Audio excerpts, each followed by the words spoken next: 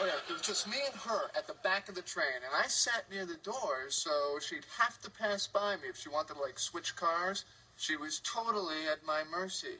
Were you so late because you were burying this woman? So I'm getting back now because she lives in Poughkeepsie. She seems really great, but she's like two and a half hours away.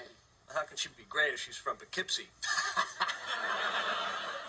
okay, that joke would have killed in Albany.